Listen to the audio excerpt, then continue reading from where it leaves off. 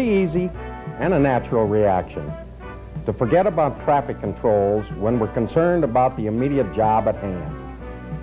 Whether we're opening a manhole, patching joints, or filling potholes, we want to get on with the job and spend as little time and effort as possible in setting up traffic controls for our work site. My name's Matt Huber. I'm a professor of civil engineering at the University of Minnesota, and I'll be your host on this series of tapes related to traffic control for short-term work zones. And while we're making introductions, let's make sure we all have a common definition for a short-term work zone on a street or highway. We're talking about an operation where it's anticipated the activity will be all done in one work shift, typically 6 to 12 hours or less. In most instances, you'll be installing traffic controls for a work zone, proceeding with the project at hand, and removing the controls a few hours later. Under these kind of conditions, there are a lot of seemingly good reasons why we don't need to bother with pedestrians or road traffic, like we will only be on the roadway for a short time. We'll be out of here in an hour. Or there's not much traffic along here this time of day. And then uh, we're just working on the shoulder. We won't bother anyone over here. Or we haven't got time to set up. We've got to keep going. Sound familiar? We all have a tendency to get right at the job and to spend as little time as possible on setting up cones or barricades and signs that may be necessary. It sounds like the buckle up campaign from TV and radio, but the punchline is the same. No excuse is good enough. We should put ourselves in the role of the driver and take a look at the roadway, just as it's seen from behind the steering wheel. None of us like surprises.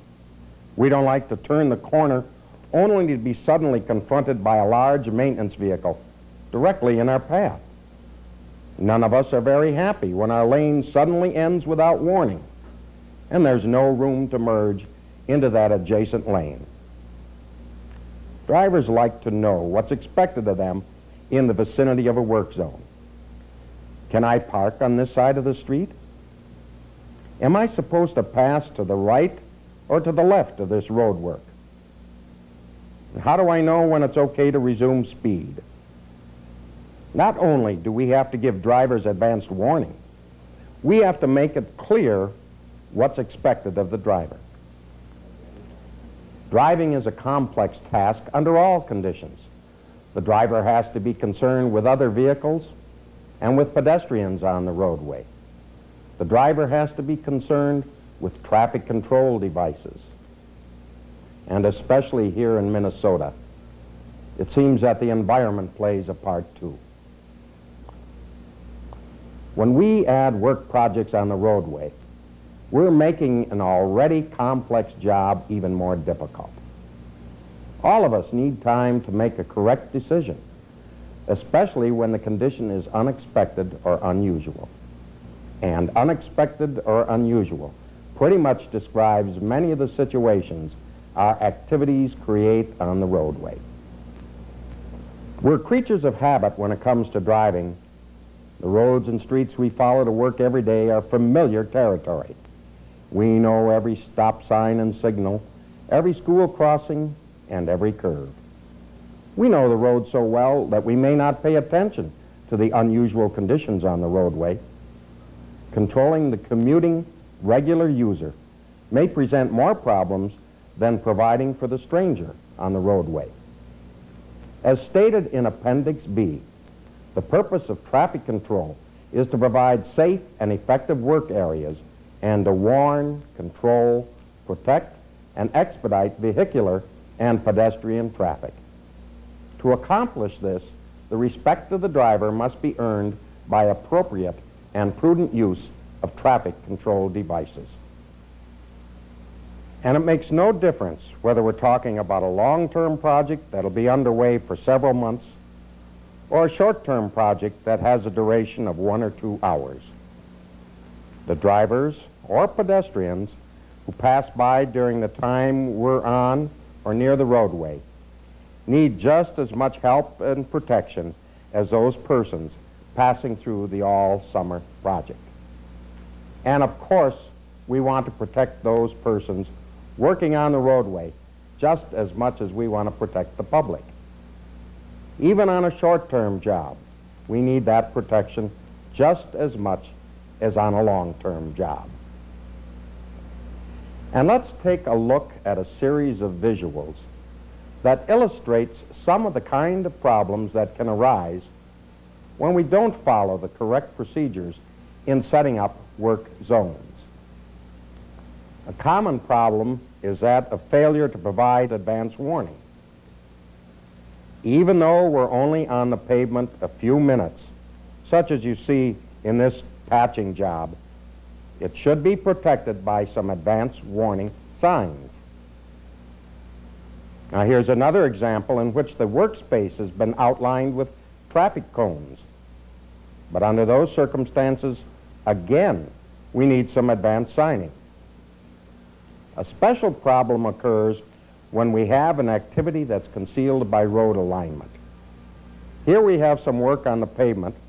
It occupies most of a lane, but it occurs just around the curve.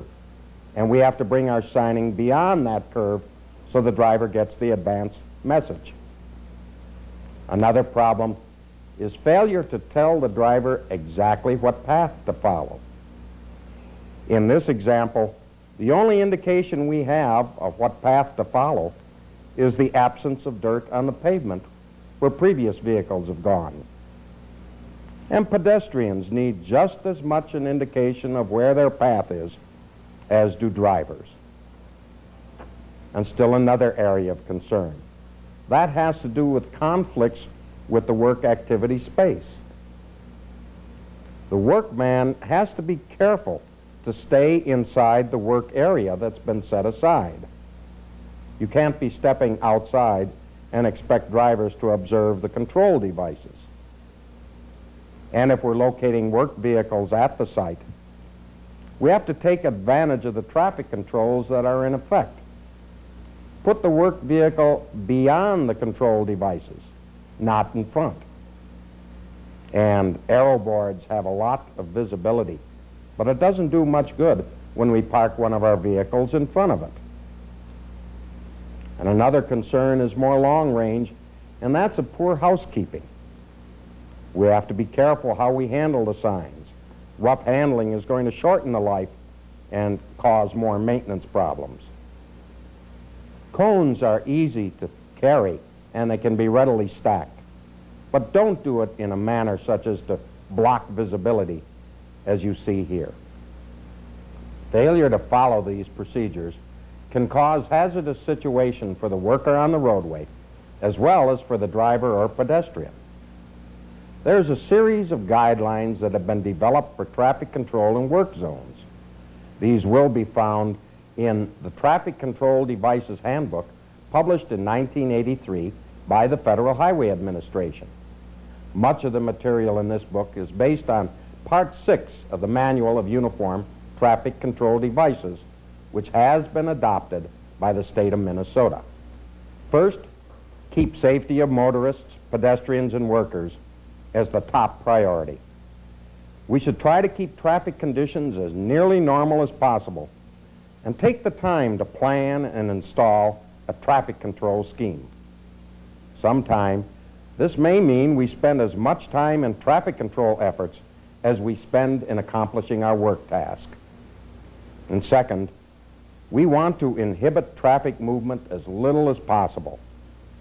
We should try to maintain the maximum speed that can be safely accepted while eliminating abrupt lane closures. We should also provide enough room for work equipment and vehicles inside of our work zone and then get the roadway open again just as soon as possible. Third, we want to get a clear, easily understood message to drivers and pedestrians. That means we have to know the exact meaning of each control device or sign that we're going to use. It also means that we have to resolve any conflict in meaning between existing control devices and those permanently in place. For example, we may be closing a left turn slot or a right turn channelized roadway. All of the geometry, the signing and striping may guide the driver into the closed lane. We have to make a special effort to overrule the regular message during the duration of our project. And sometimes flagging may be the only way we can properly assure getting the right message across. Fourth, all devices must be kept in good repair and properly stored so that adequate visibility is retained. Signs and other devices must be placed where they can be seen by the driver in time to make that correct decision. And again, as soon as the project is finished, the control devices should be promptly removed. Fifth, and finally, you should anticipate the increase in hazards that arise from your presence on or near the roadway. Provide room for disabled or out-of-control vehicles. Most of the devices that are used are lightweight and yielding, so that damage to errant vehicles will be a minimum. But be sure to keep equipment, materials, debris, and yourselves, of course, where there will be a minimum of vulnerability from out-of-control vehicles. We'll be expanding on these five principles in the following sections of this course. In this section, we've taken a look at the reason for traffic control and the relationship to safety in work zones. In the following material, we'll be reviewing the types and uses of traffic control devices, the mechanics of designing and installing traffic control in a work zone, and then we'll be reviewing some typical applications that you'll be using in your work.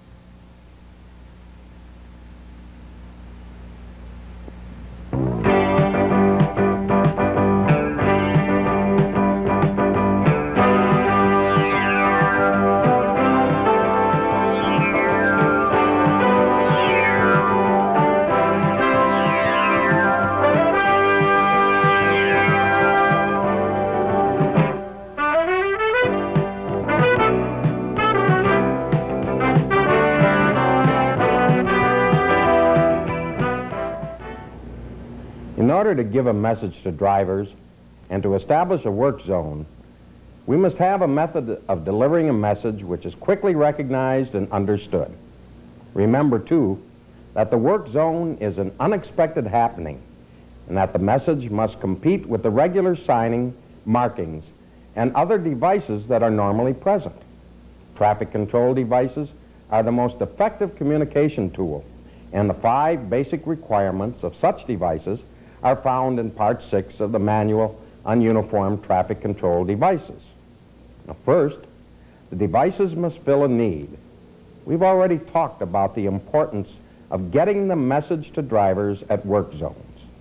Second, the devices must command attention.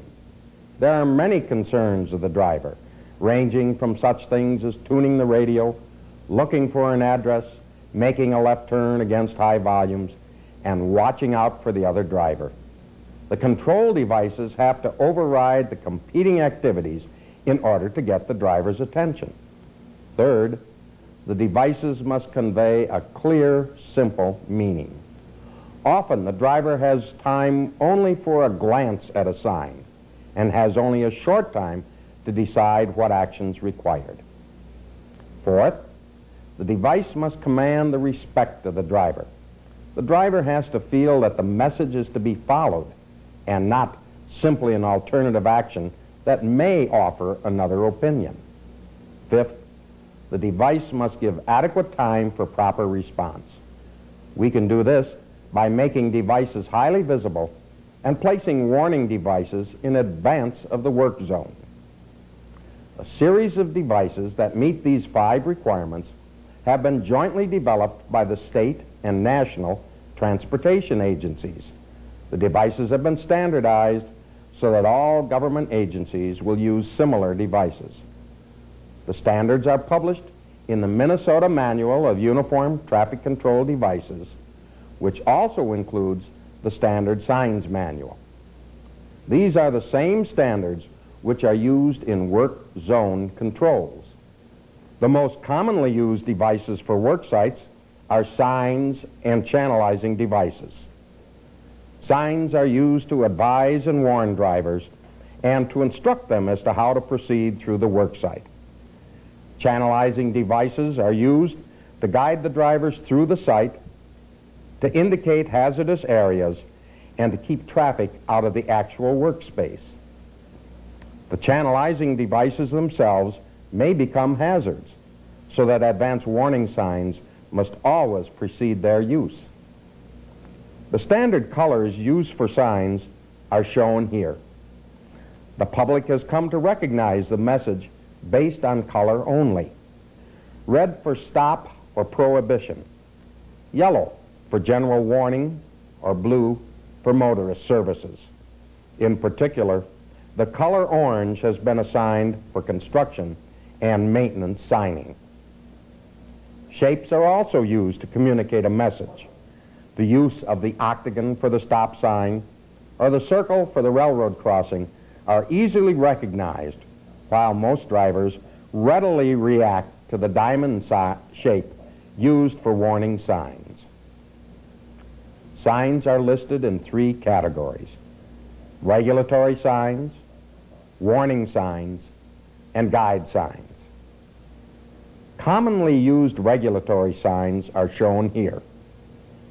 While they are not frequently used in short-term work zones, it is well to recall that these signs impose legal obligations and restrictions on all traffic.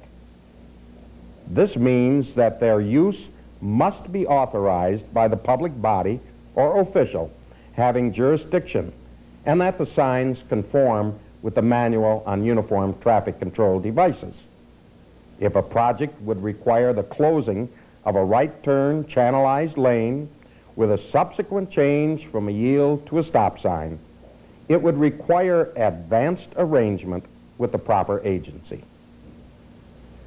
Regulatory signs should be located at the point where the regulation or law becomes effective. For example, parking restrictions begin at the point where the sign is located.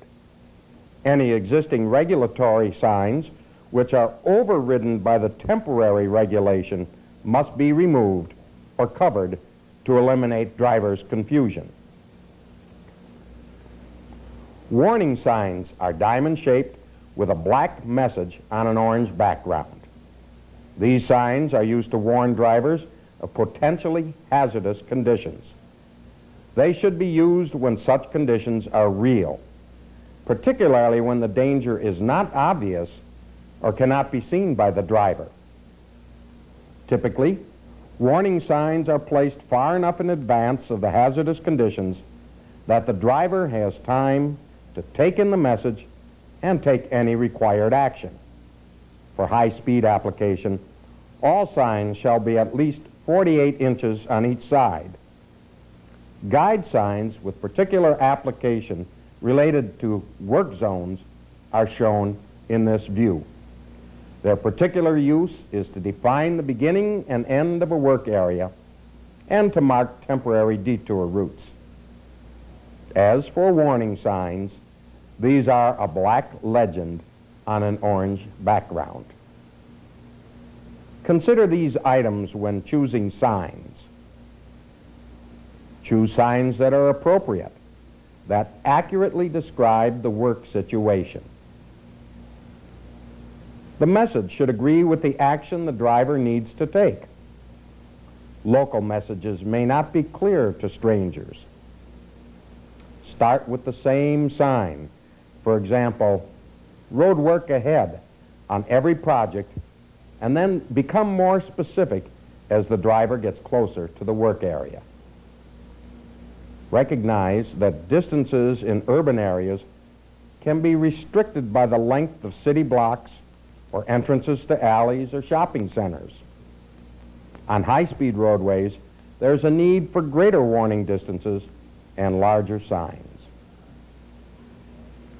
On one-way streets or roadways with medians, it's advantageous to place signs on both sides of the roadway. Also, make sure that signs are high enough so they can be seen over parked cars or heavy traffic, and that they're in a position not blocked by vegetation or by work activities. If traffic is heavy and backed up, it may be necessary to extend the advance warning area beyond the end of that backup. Care must be taken that signs don't block the view as the driver enters the area. We'll cover details of sign placement in greater detail in the next session. Now, channelizing devices are placed in or adjacent to the roadway to control the flow of traffic. They have two distinct purposes. First, as a taper to force movement of traffic from one lane to another. And then to delineate and guide the driver to and along the safe travel path. The several different types of channelizing devices are shown here, each with its own characteristics and advantages. Traffic cones are an effective method of channelizing traffic along a path during daylight hours. The devices don't damage vehicles when hit, and they're easily recognized by drivers. They're easy to store and can be quickly put in place on the roadway. Because they are lightweight and because they're small, they're easily knocked down so that monitoring is necessary to keep them in place. Drums serve many of the same functions as cones, but drums appear more formidable than cones and they command more respect. They should not be weighted to the extent that they become hazardous to drivers. Currently, drums are made of plastic materials that are less likely to be damaged when hit, and they won't roll if tipped over.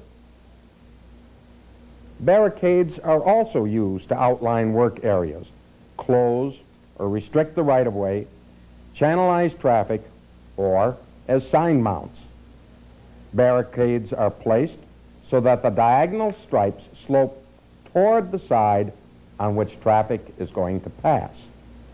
Types 1, 2, and 3 differ only in the number of rails on the barricade. The more rails, the more visibility. But also, the more rails, the heavier and more awkward the device becomes. Like drums, barricades command respect, and they are observed by drivers. Sandbags are the only ballast permitted on barricades, and that they may only be placed on the base. Unlike cones and plastic drums, barricades are likely to damage vehicles if they're hit.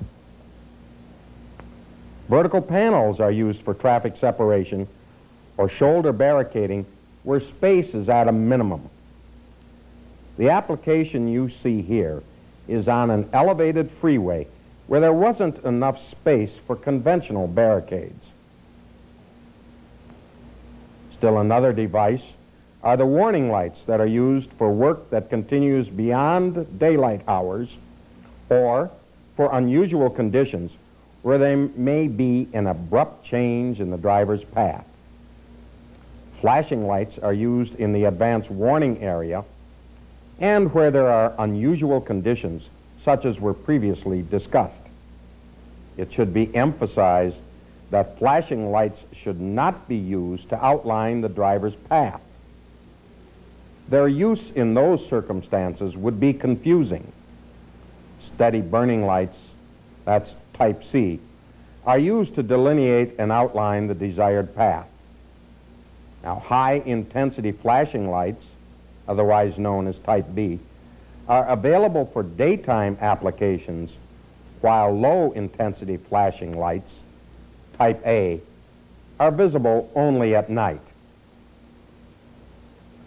Advanced warning arrow boards are intended to supplement other traffic control devices that we're using in the work area.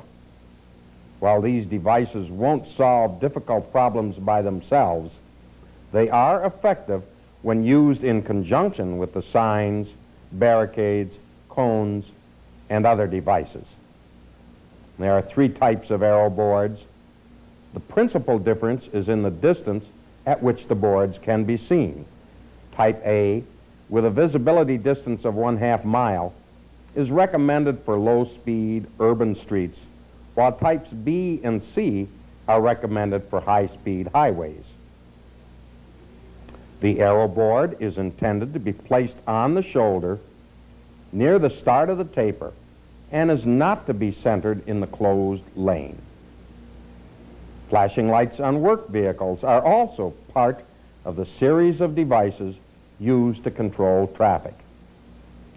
The vehicle warning lights may be emergency flashers, flashing strobe lights, or rotating beacons. Finally, high-level warning devices are often used in urban, high-density traffic situations to supplement other traffic control devices. High-level devices are placed inside of the channelization and in the center of the blocked traffic lane. While usually mounted on a flag stand, the device may also be attached to a service vehicle when the vehicle is placed in advance of the work area. This concludes our brief review of traffic control devices. Any particular details will be found in the Minnesota Manual of Uniform Traffic Control Devices and in Section 4 of Appendix B. In the following tape, we'll be taking a look at more details about the applications of these particular devices.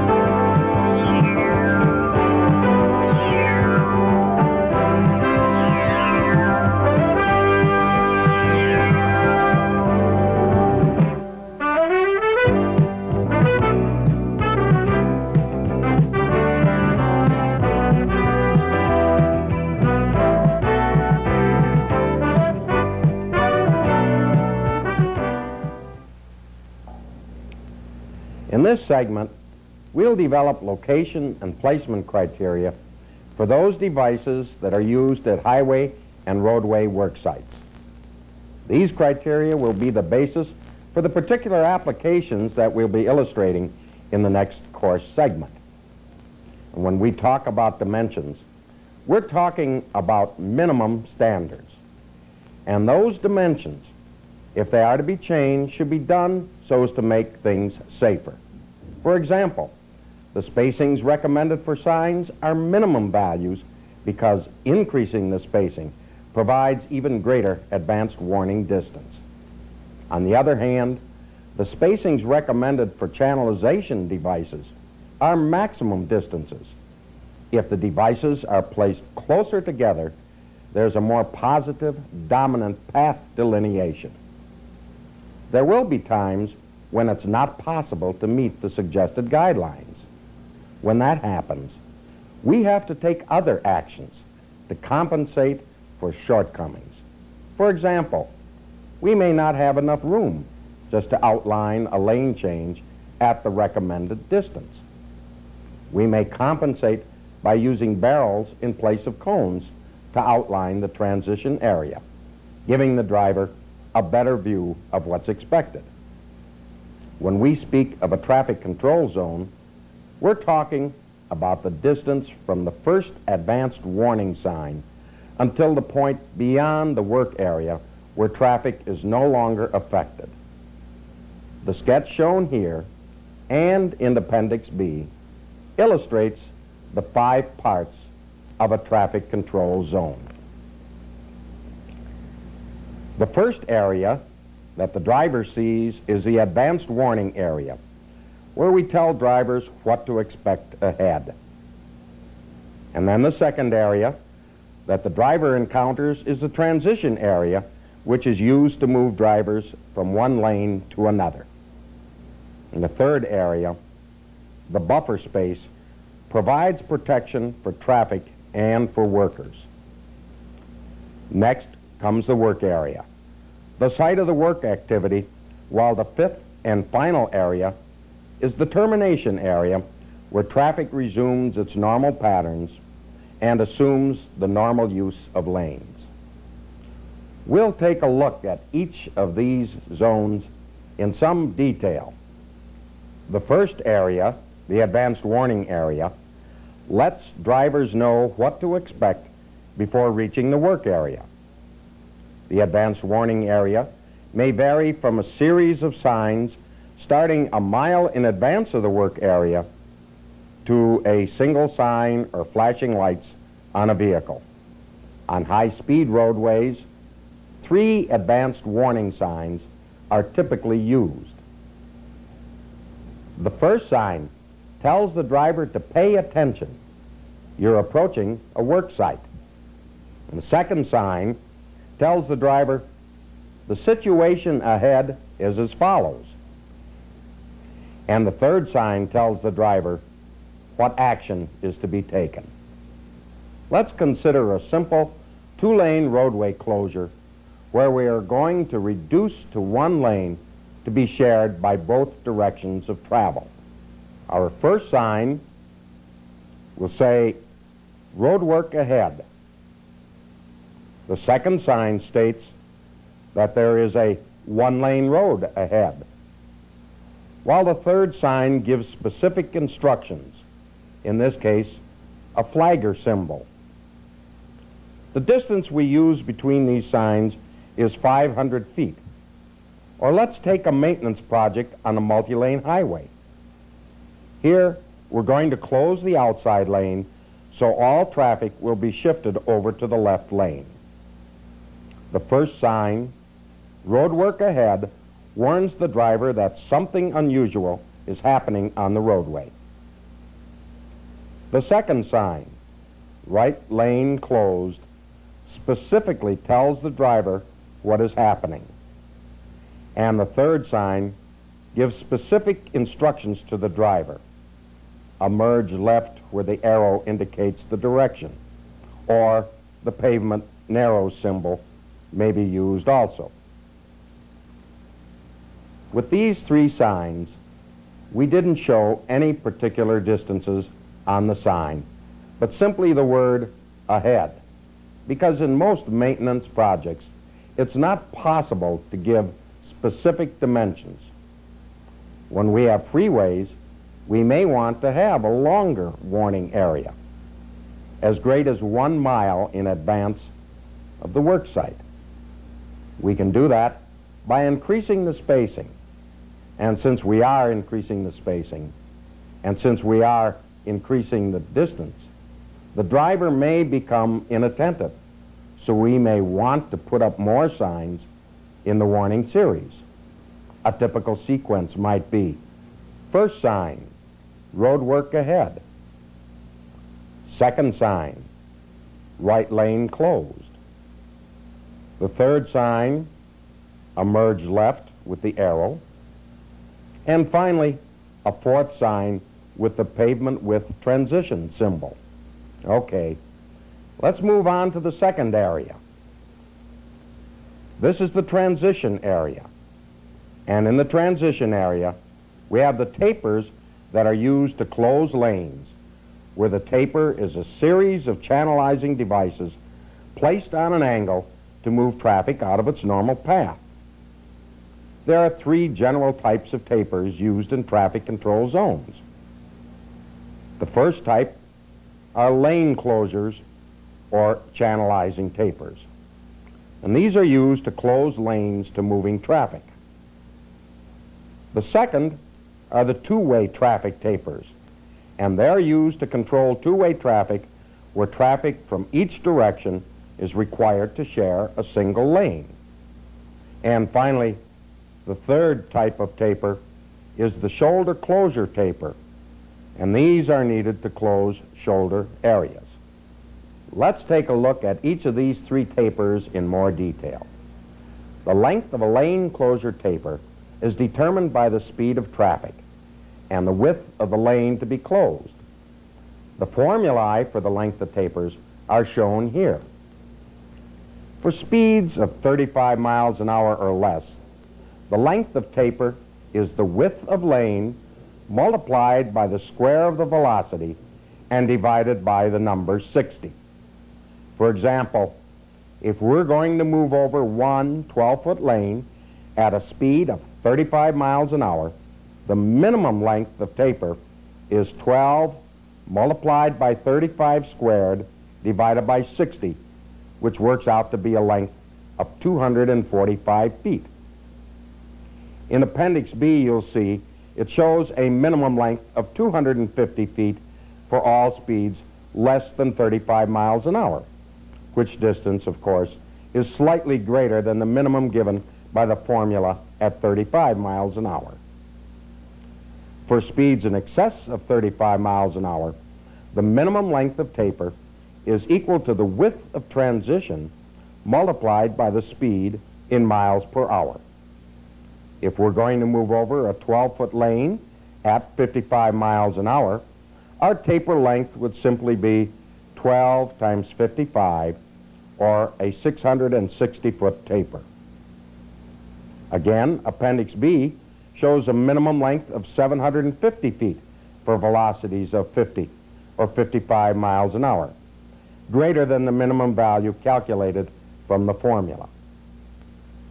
Now, if sight distance is restricted, the taper should begin well in advance of the view obstruction. Tapers can be outlined with 12 to 16 channelizing devices, such as cones or Type 1 barricades.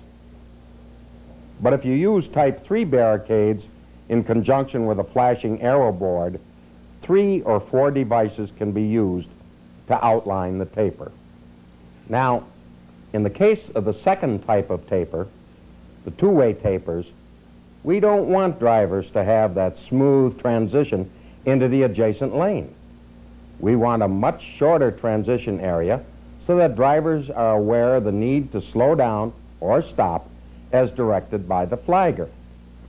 Two-way traffic tapers are only 50 feet long, substantially less than tapers used for a smooth transition from one lane to another. Five channelizing devices are sufficient to outline the taper, although again, if we're using type 3 barricades, two of those will provide satisfactory guidance.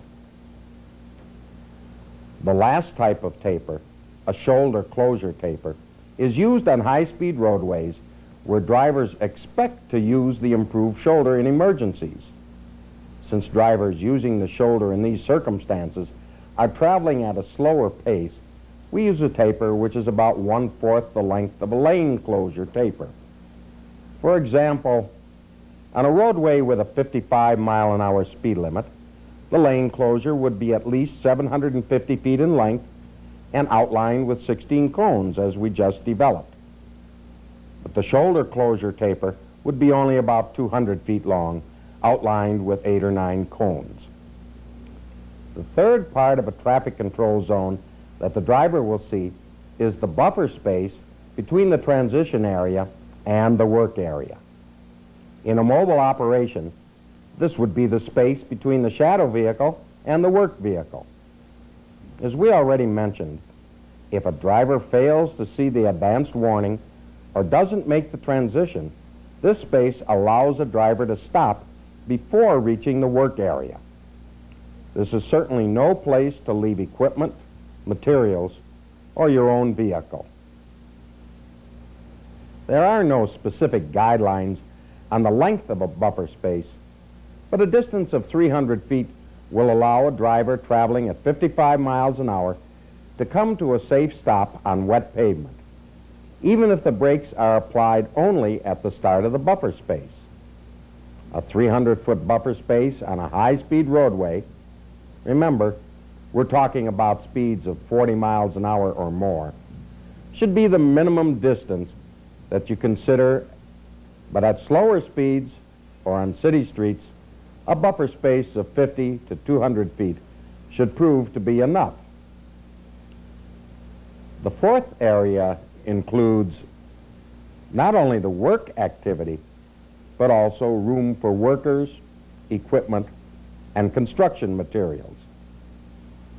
In establishing a work zone, it's important to provide a safe entrance and exit for work vehicles. The work area may remain in a fixed location or it may be moved as work progresses. The work area and the buffer area appear as a continuous space to the driver. The work area is delineated with channelizing devices and the spacings of these devices is about two times the speed limit about 110 feet at 55 miles an hour, or 50 feet at 25 miles an hour. Now, the length of the work zone is going to have an effect. A work zone 500 feet in length will require from 6 to 11 devices, but a short work zone, only 100 feet long, would require only three devices at a 50-foot spacing, and that's an inadequate number.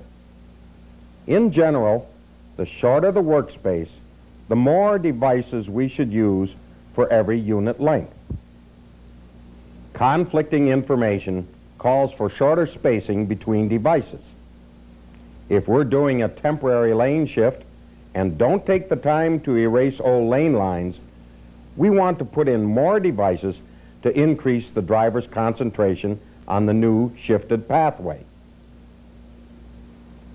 And the final area, the termination area, provides a short distance for traffic to clear the work area and to return to the normal traffic lanes. A downstream or closing taper may be used in this area. These tapers, about 50 feet in length, give added assurance to drivers and help to remove any confusion about gaps in traffic control.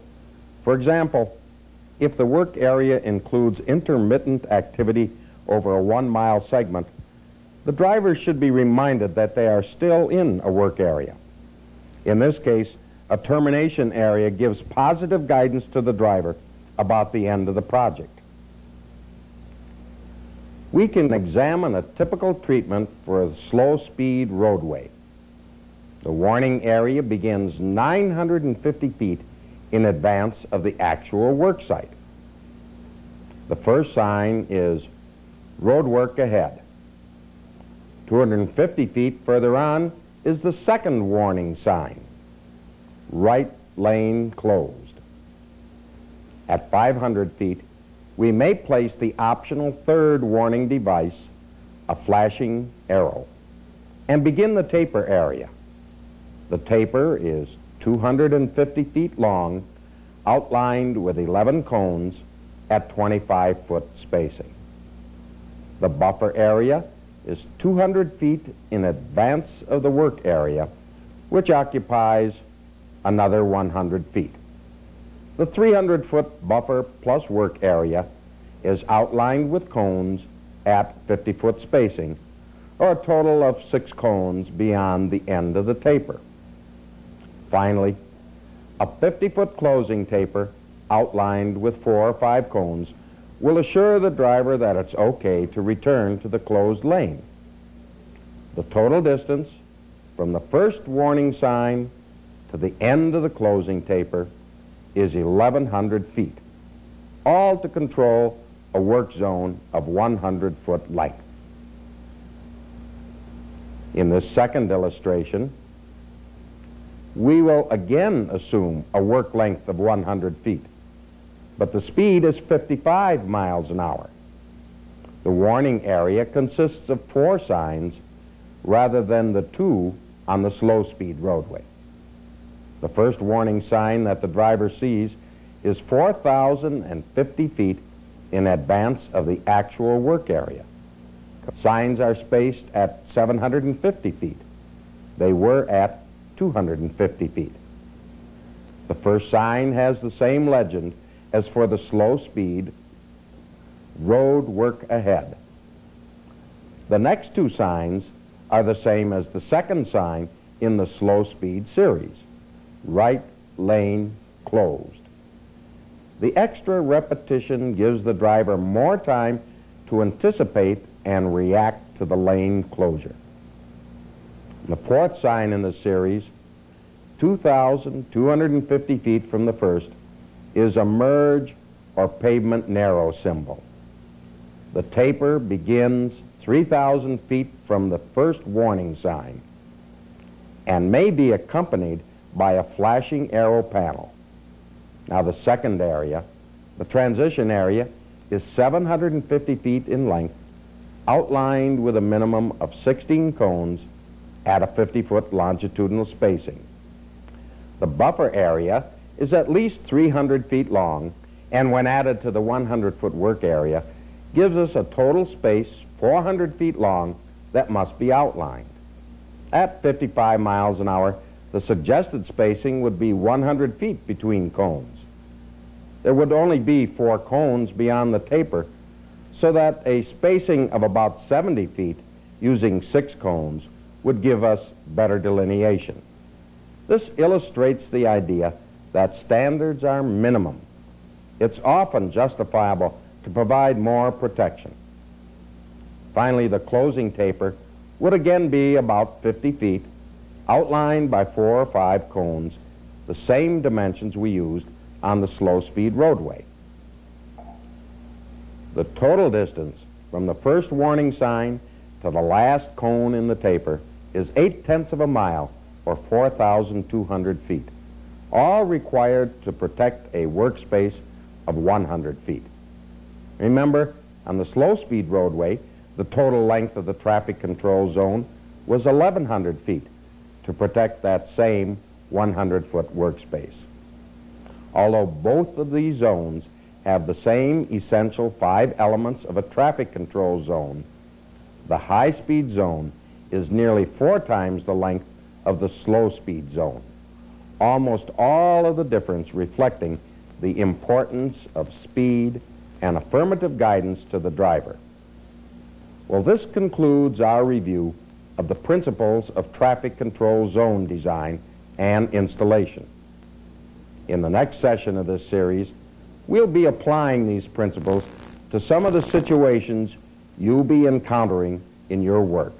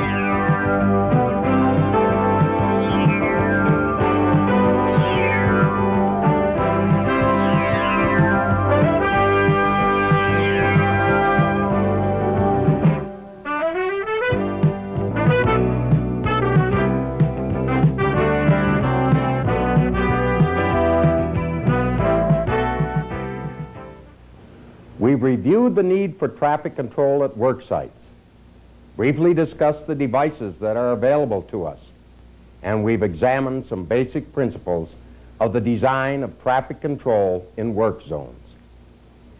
In this tape, we'll consider some specific applications of traffic controls. The details will be found in sections 2 and 3 of Appendix B. You may wish to refer to these sections as you follow the details of this tape.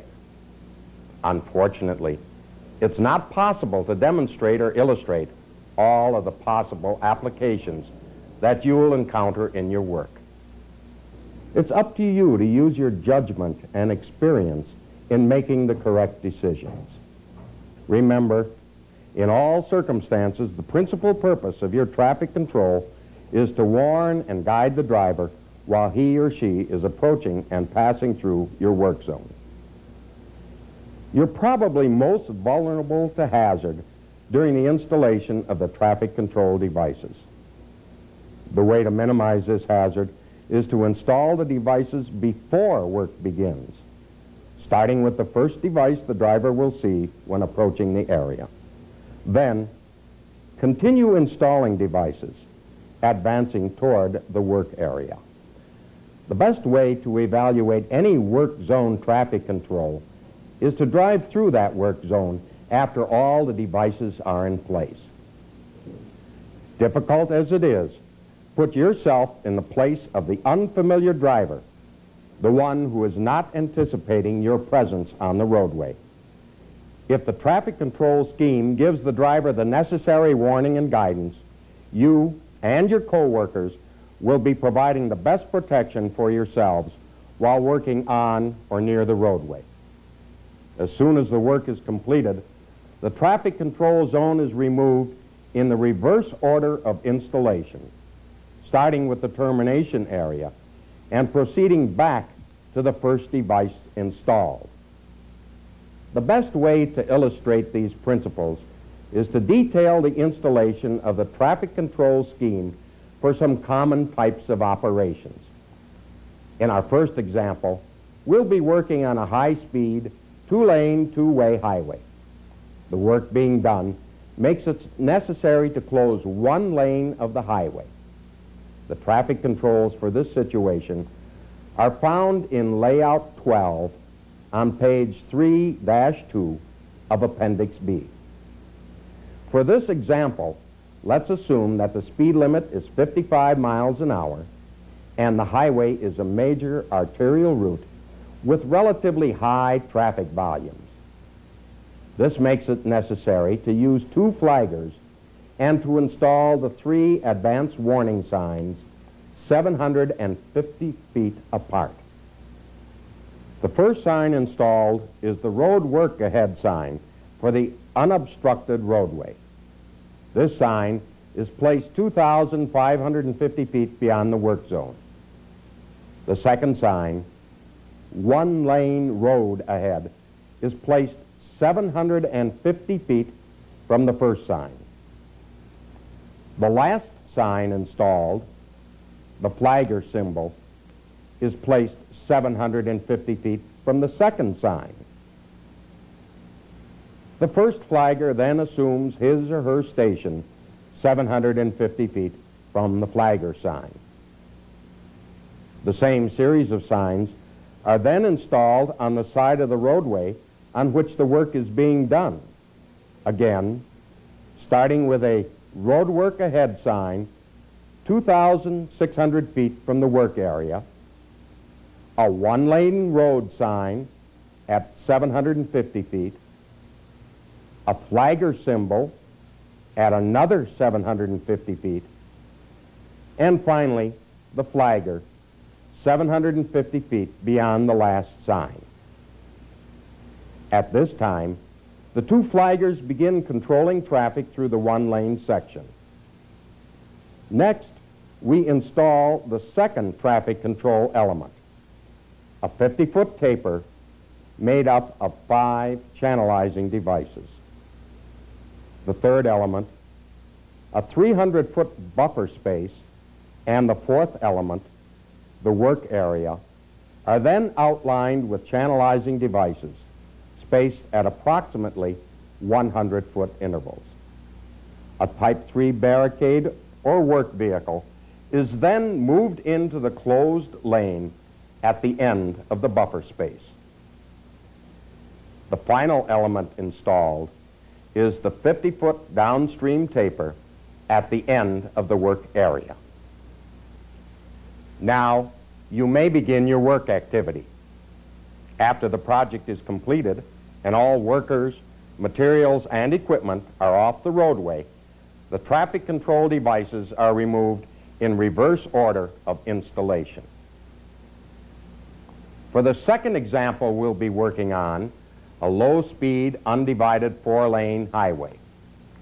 The work being done makes it necessary to close the left lane of the roadway. The traffic controls for this situation are found in Layout 5 of page 2-6 of Appendix B. For low-speed applications, notice that the taper length and sign spacing is the same for all speeds from 0 to 35 miles an hour. The first sign installed for the unobstructed roadway is a roadwork ahead sign. This sign is placed 250 feet beyond the work zone. The signs for the affected roadway are then installed. The roadwork ahead sign is placed 1,000 feet before the work area. The next sign is a left lane closed sign, 250 feet from the road work ahead sign. Now that all of your advanced warning signs are in place, place your work vehicle or advance warning arrow panel in the closed lane in front of where the taper begins. This is done to give you, the worker, added protection while setting up the taper. For this application, the lane closure taper consists of 11 channelizing devices on 25-foot centers for a 250-foot taper. Once the taper has been installed, move the advance warning arrow panel behind the lane closure taper. The advance warning arrow panel should be placed as near to the beginning of the taper as possible. The third element, a 150 to 200 foot buffer space, and the fourth element, the work area, are then outlined on both sides with channelizing devices spaced at 50 foot intervals. The fifth element to be installed is a 50 foot downstream taper. Finally, the work vehicle may be moved into the closed lane near the work zone. One quick note concerning advance warning arrow panels. In the last example, the advance warning arrow panel was placed in the lane because of the lack of a shoulder. However, as a rule, advance warning arrow panels should be placed on the shoulder at the beginning of the taper. Again, the best way to evaluate work zone traffic controls is to drive through the work zone after all the devices are in place. Remember, put yourself in the place of the unfamiliar driver, the one who's not anticipating your presence on the roadway. And now you're ready to begin your work activity. After the project is completed and all workers and materials and equipment are off the roadway, the traffic control devices are again removed in reverse order of installation. For our third example, we'll be working on a high-speed, divided, multi-lane highway. The work being done necessitates that the left lane be closed. The traffic controls for this situation are shown in Layout 18 on page 3-8 of Appendix B. Again, we'll assume that the posted speed limit is 55 miles an hour. The first element installed is the advance warning area, which begins 3,300 feet before the work area. For one-way, multi-lane roadways, the advance signs are generally installed on both the left and right sides of the roadway. The first two signs installed are the two road work ahead signs 3,300 feet before the work area on both sides of the roadway. Next, two left lane close signs are placed 750 feet from the first signs, again, one on each side of the roadway. The third set of signs consists of a merge sign with an arrow and a lane reduction transition sign. In our example, we placed the merge sign with an arrow on the left side of the roadway and the lane reduction transition sign on the right side of the roadway. These signs are placed 750 feet from the left lane closed signs. Next, we install the second element of traffic control, the lane closure taper. Again, when setting up the taper, place your work vehicle or an advanced warning arrow panel before the start of the taper for added protection. For this example, the lane closure taper consists of 16 channelizing devices on 50-foot centers for a total of 750 feet. The lane is closed by a Type 3 barricade which you place at the end of the taper. Now, the optional advanced warning arrow panel, if used, can be placed on the shoulder at the beginning of the taper. The third element, a 300-foot buffer space, and the fourth element, the work area, are outlined by channelizing devices spaced 100 feet apart. Finally, the work vehicle may be moved into the closed lane near the work area, and the fifth element, a 50-foot closing taper, is installed.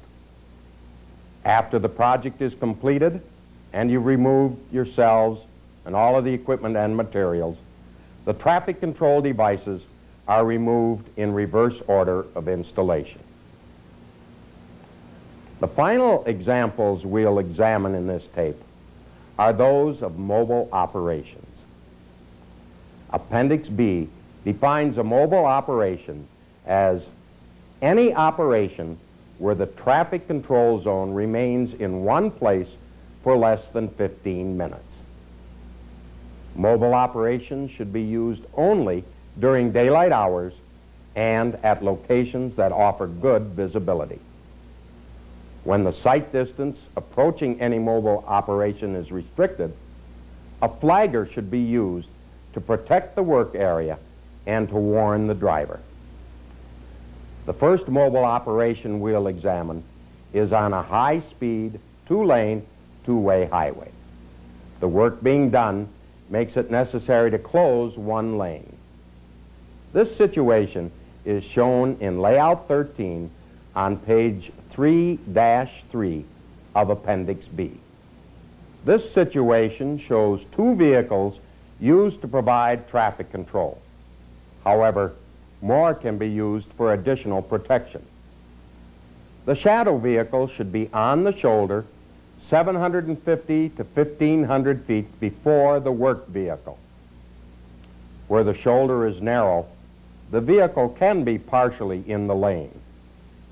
The shadow vehicle shall be equipped with a 360 degree flashing beacon and the proper advance warning signs. A Type B or Type C advance warning arrow panel is optional in this case. If an advanced warning arrow panel is used, the flashing caution symbol, as illustrated in Layout 13, should be used. Never use a flashing arrow which would direct cars into the path of oncoming traffic. The work vehicle shall be placed in the lane this vehicle shall be equipped with a 360 degree flashing beacon. However, no warning signs are needed. The second mobile operation is an operation on a roadway where the conditions are the same as the previous example, but in this situation, the roadway carries a low volume of traffic. Appendix B defines a low volume roadway is any street or highway where the average daily traffic is less than 1,500 vehicles per day.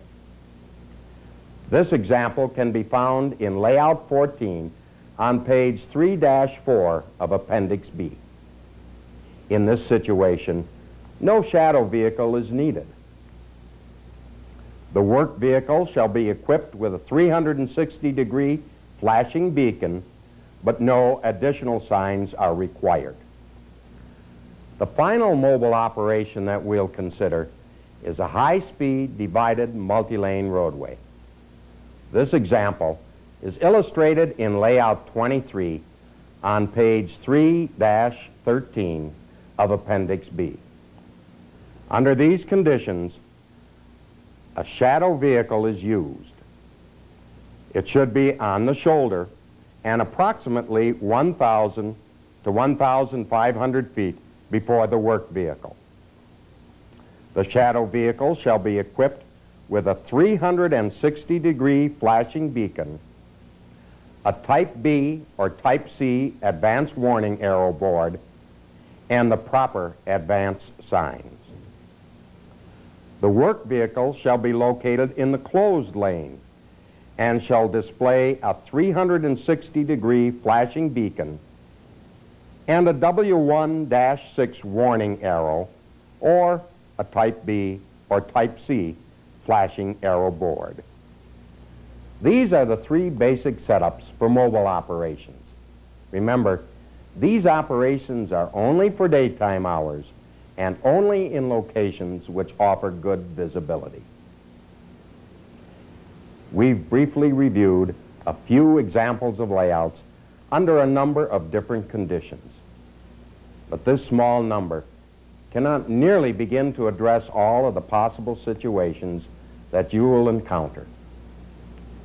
You will often be called upon to develop your own traffic control plan, providing safety for both workers and drivers. While this task may be time consuming, it is part of your responsibility that can never be set aside because of anxiety to get on with the job. I hope this series of tapes has been of value to you, and I wish you well as you continue with your important responsibilities.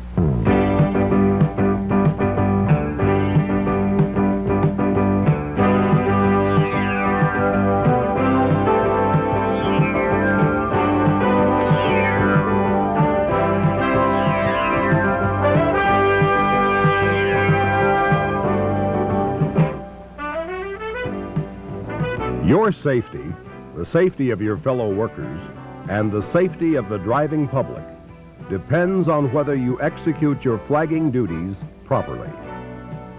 You may be assigned as a flagger for an entire shift or for a short period of time to relieve a fatigued fellow worker.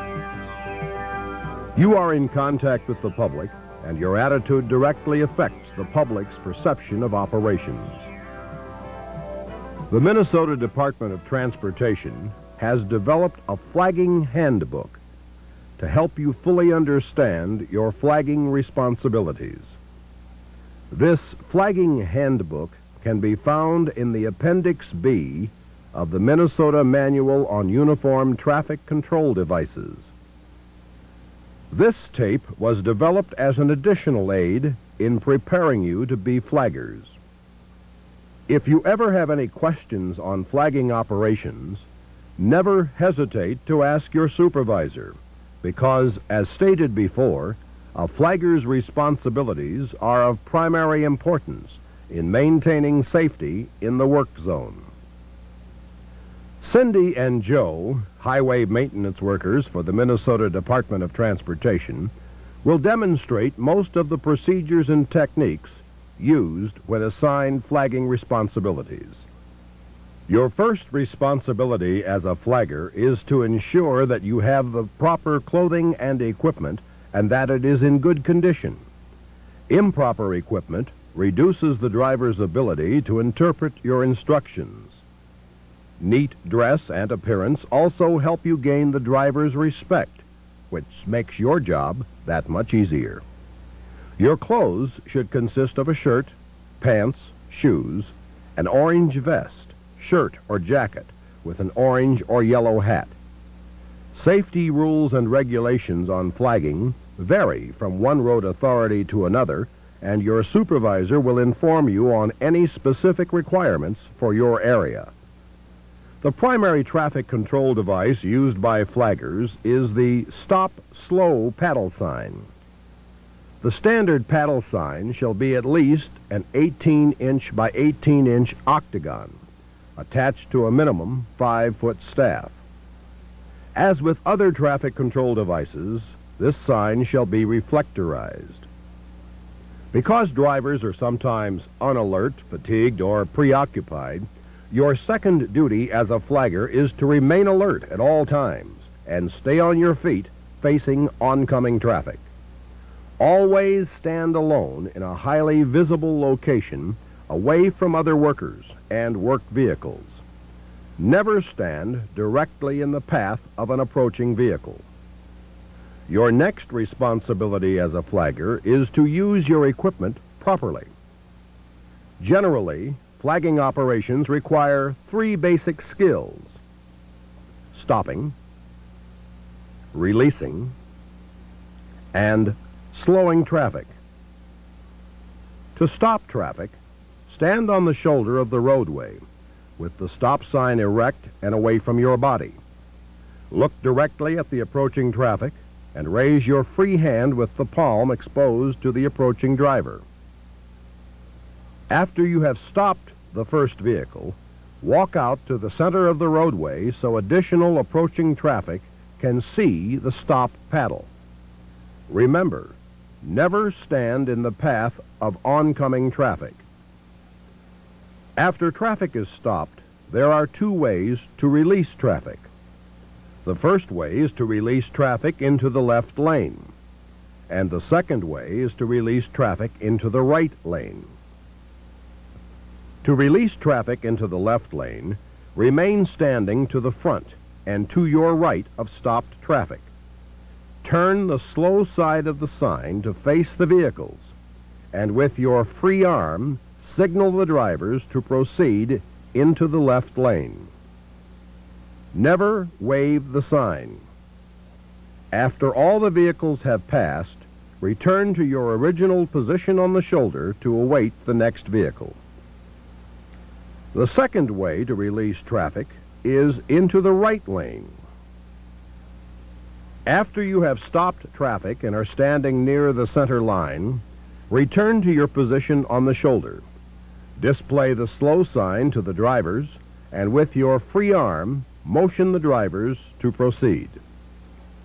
In some cases, it may not be necessary to completely stop traffic, but only to slow it down. In these cases, always stand on the shoulder of the road, displaying the slow paddle to oncoming traffic. Use your free arm to motion traffic to slow down. Remember, Never stand in the path of oncoming traffic. These three basic skills are the only actions you need to know for a successful flagging operation. Situations will vary, and how you apply these skills will differ from project to project. In the second part of this course, we will cover some typical situations you, as a flagger, may find yourself in. Before starting any of these flagging operations, an issue must be addressed. In most flagging operations, advance warning signs, as shown in the flagging handbook, should be set up before the flagger actually starts controlling traffic. These signs tell the driver that you are controlling traffic up ahead. Without these advance warning signs, the driver does not expect your presence on the roadway. Once the advance warning signs are in place, you may begin flagging. The first situation that requires a flagging operation is that of an advance flagger. The advance flagger is placed well ahead of the work zone. As an advance flagger, you should stop each vehicle and advise the driver of the situation ahead and any appropriate action required. Always be alert, considerate, and avoid any unnecessary conversation. The second situation we will cover is a single flagger operation. The Minnesota Department of Transportation has developed a new system of flagging on low-volume highways that have less than 1,500 vehicles a day. While flagging alone, stand on the shoulder of the closed lane facing oncoming traffic. Remember, do not stand close to the work vehicles next to fellow workers or in the path of approaching vehicles. Once the first car is stopped, you walk from the shoulder out to near the center line where you can see the opposing traffic. In this single flagger operation, the opposing traffic continues uninterrupted. When the way is clear, release traffic into the traveled lane. The third situation, probably the most common, is that of a two-flagger operation. In these cases, one flagger is always in charge to coordinate the operation. When two flaggers are used, they must always be able to communicate with one another. This can be done with two-way radios, flag carrying, or sight method, where both flaggers must have visual contact. The first flagger, Cindy, releases traffic and displays the slow paddle sign while the second flagger, Joe, stops traffic. Traffic is held by Joe until an all clear is received from Cindy, which allows him to release stopped traffic. In this example, the flag-carrying method of communication is used. Cindy hands a flag to the last car she allows to go through. When that driver reaches Joe, he hands him the flag. Having gotten the all clear, Joe can now allow traffic to flow safely in the opposite direction. This operation is very simple. However, communication between flaggers is imperative. The flagger must be assured that the driver of the last vehicle will pass the flag to the other flagger. The fourth situation considered in this presentation is that of nighttime flagging operations. Nighttime flagging procedures are generally the same as daytime, except that some equipment changes are necessary. A flashlight or lantern, a reflectorized vest, and a reflectorized stop slow paddle are required for nighttime flagging operations. It is also helpful if auxiliary lighting can be added to illuminate the flagging station. The more visible you are, the easier it is for the driver to see you and to follow your instructions. To stop an approaching vehicle, stand on the shoulder holding the stop paddle away from your body. Do not stand in the traveled lane. Wave your flashlight or lantern back and forth in front of your body while holding the sign paddle in the usual manner.